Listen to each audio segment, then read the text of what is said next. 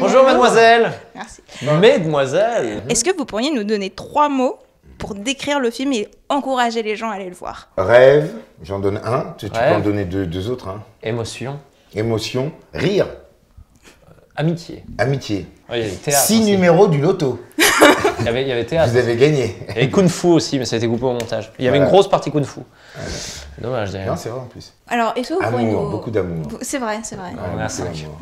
Vous pouvez nous présenter un peu le film, donc comment euh, la jeunesse du film et de quoi est-ce qu'il parle? Euh, Le projet initial de ce film, c'était Farid Lawassa, le producteur, qui voulait nous réunir, euh, Lucien et moi, dans un film. Et il nous avait dit, voilà, j'ai très envie que vous formiez un duo de cinéma. Après, le scénario, je ne l'ai pas encore, mais dès qu'il y en aura un, je vous, je vous ferai lire. Et donc, on a lu un premier film qui s'appelait Intérim, qu'on avait bien aimé, Lucien et moi, mais en me passant, on s'était pas encore rencontré avec Lucien, mais en me passant le scénario euh, de, ce film-là, Farid m'a dit, je te préviens, Lucien est en train de le réécrire, il va le réadapter euh, de façon un petit peu plus personnelle. Et donc ensuite, j'ai lu le film Dieu merci, que j'ai adoré. Et euh, suite à ça, Lucien est venu me voir jouer au Bataclan. On s'est pas vu encore à la fin de la représentation. En revanche, on s'est croisés pour la première fois à Venise. J'étais à Venise avec ma meuf, Jessica Alba. C'est très mal terminé d'ailleurs. Vous étiez étais avec ta meuf et Jessica Alba ou Avec ta Jessica meuf Alba. Ouais. Elle a gardé 4 Blu-ray d'ailleurs. J'aimerais bien que tu me les ramènes, Jessica, et la saison 7 de Friends. Merci beaucoup. Bref, on va oublier. T'étais à Venise. Et j'étais à Venise avec elle, et Lucien, je le croise sur un pont, il était avec Ma femme. ta femme, il voulait pas dire la blague.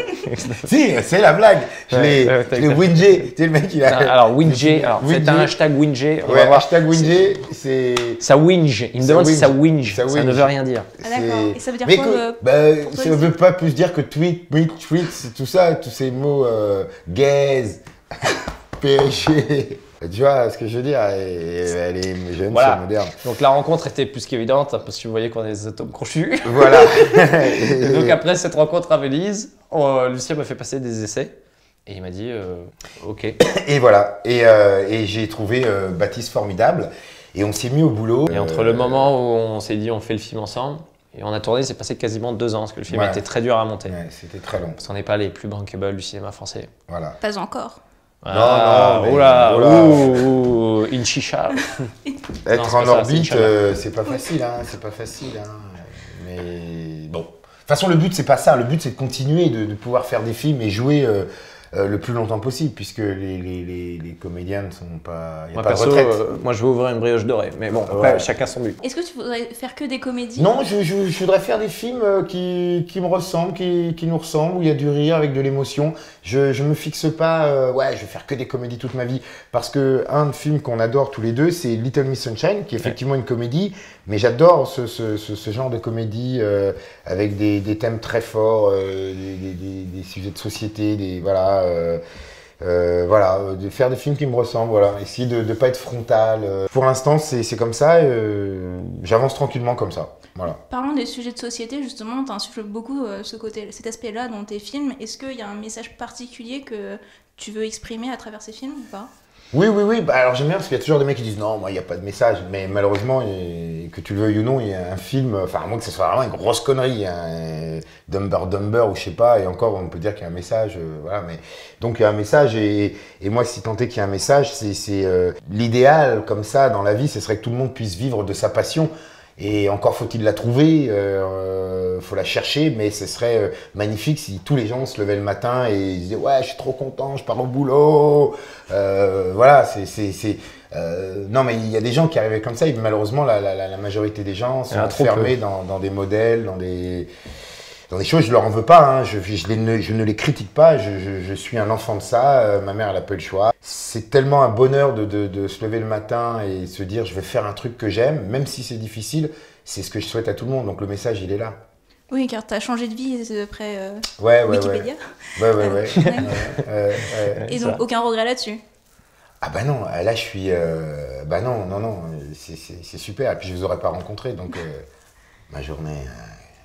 euh, Et toi, Baptiste, ça a toujours été donc. euh, Pardon, il a pris une voix d'acteur de film de cul, ça. Putain, la boîte. putain, la vache, la voix de, Yeah, de you fou. Arrêtez voix. Arrêtez, je vais juste réparer la photocopieuse. Donc, euh, bah, toi, tu es, devenu comé- tu es comédien depuis quelques années déjà. Ouais. Est-ce Ouais. que c'était toujours ton rêve de gosse? Moi, je voulais être basketteur disait- professionnel.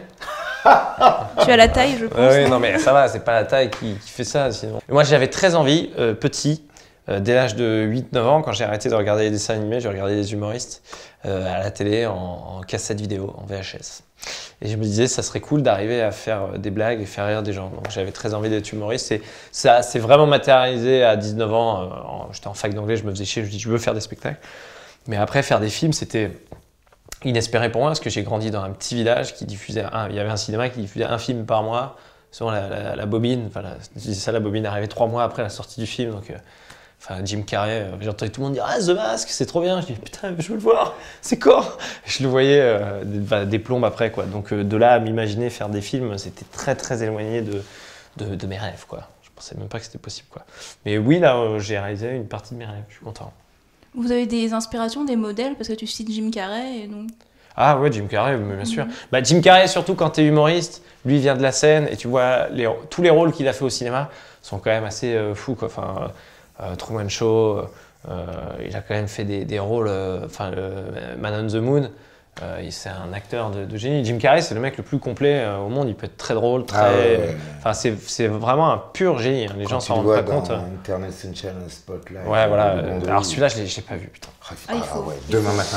Demain Ce matin, soir. ah, demain Non, non, matin, ça euh, bah, m'arrange pas trop non, parce que euh, je vois midi les zouzous et. Ben, euh, à bon, 6 c'est pas heures, grave, en- je en- décalerai. entre 6 et, entre 6 et 8. D'accord, j'ai C'est essayé. mal mais- celui-là. J'aimerais j'avoue, je, je regarde, les- j'ai voulu le regarder deux fois, j'ai arrêté sur la scène de la Tiens, plage. J'étais fatigué. Everybody. Je me suis inspiré de cette musique pour faire la musique de la première étoile. Pas de cette chanson, mais de la musique d'éternel. euh, J'ai dit au, au compositeur, j'ai dit, tu vois, les petites notes là.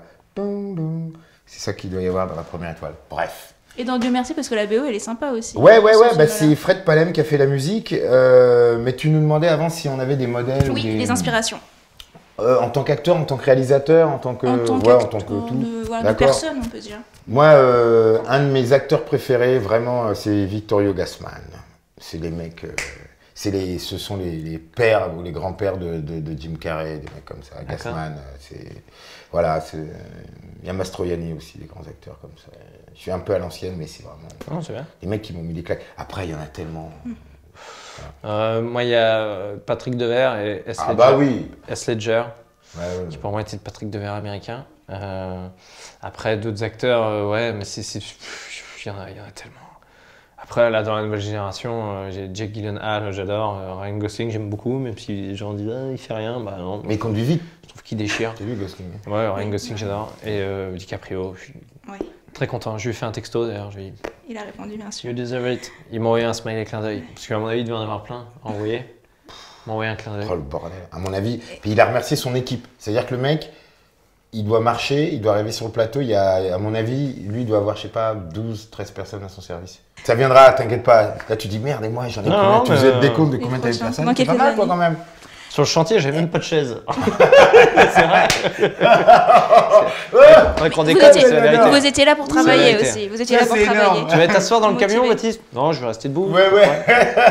Mais ça, c'est bon, t'as c'est fait. bon. Tu vois, ton prochain Non, J'ai film. fait tomber mon iPhone dans la boue d'ailleurs, eh, à cause ton, de ça. ton- ton prochain Belle film, anecdote. faire, euh, Ah, mais c'est trop, c'est trop, c'est trop. Oh, c'est trop Un tabouret de bar. Et euh, donc, qu'est-ce que vous donneriez aux jeunes comédiens comme conseil euh, Faut pas coucher pour réussir. J'ai j'ai il pas de conseils à donner aux, aux jeunes acteurs parce qu'il y a beaucoup de prétentions à dire des conseils, mais vraiment euh, qui se trompent pas euh, dans leur choix, qui se posent vraiment la question est-ce que c'est bien ça qu'ils veulent faire Parce que si tu te trompes, c'est un métier qui peut te faire très très très mal et tu peux te retrouver euh, 10-15 ans plus tard euh, carrément largué parce que c'est des métiers qui peuvent s'arrêter demain matin. Et si t'as pas l'endurance, si tu fais pas ce métier pour des bonnes raisons, euh, ça peut être euh, très dur. Donc euh, c'est pas tant un conseil, enfin si c'est un petit conseil, c'est regardez-vous devant une glace et, dites-vous est-ce que vous êtes prêt à, assumer ce chemin de croix? Parce que c'est c'est- c'est un vrai chemin de croix, c'est pas facile. Voilà, 80% de chômage, donc euh, vous avez plus de chances de ne pas travailler que de travailler. Voilà, donc force et courage. Pas mieux. Rien à ajouter? Non. On a une petite coutume chez Mademoiselle, c'est de faire lire nos stickers. Ouais. Donc, je vous en laisse deux. Vous pouvez choisir lequel vous voulez lire. Euh... Génial. Quel tu veux lire? Je lis Mademoiselle et Dieu m'a donné la foi. Fait Winter. Je lis Mademoiselle et j'en ai une grosse paire. Et c'est vrai. C'est vrai en plus. Et c'est vrai. C'est con. C'est mais- Toi, dans l'autre sens, ça aurait pas, ça aurait Très pas autobiographique. Regardez, ça va pas du tout, là. Dis-le. Dis-le, dis-le. Je lis Mademoiselle et j'ai une grosse paire. Je lis Mademoiselle. Dieu m'a donné la foi. Non, c'est, c'est- je suis désolé, c'est vrai, ça marche comme ça. Ça marche comme ça. Bah, Salut les filles. Merci. Lâchez rien. So this sequel has been in works since 2001. So how,